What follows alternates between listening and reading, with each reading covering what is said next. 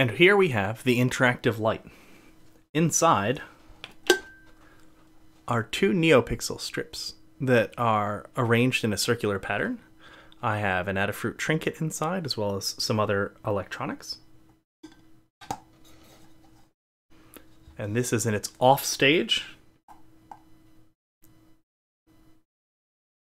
As I turn it on, it goes into flame mode. Now there is a microphone in the front, and as I blow into it, it will, there we go, it increases the flame. So it increases the heat and intensity in the flame, which will slowly flicker and it will randomly increase.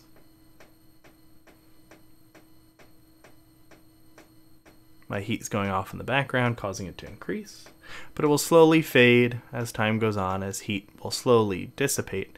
But as you see, it flickers, it glows, it kind of moves and lives and breathes on, breathes on its own.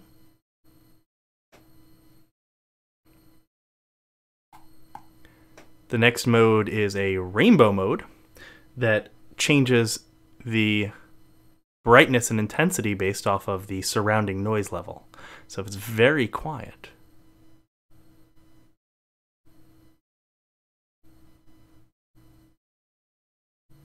then the brightness should be mild. And then if we have spikes, it will grow and fade.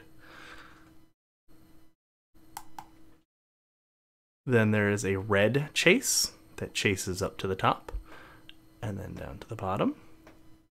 And that will just repeat.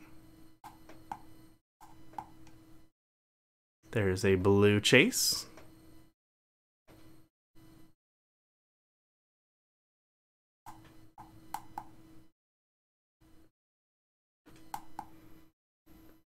A green chase and a white chase.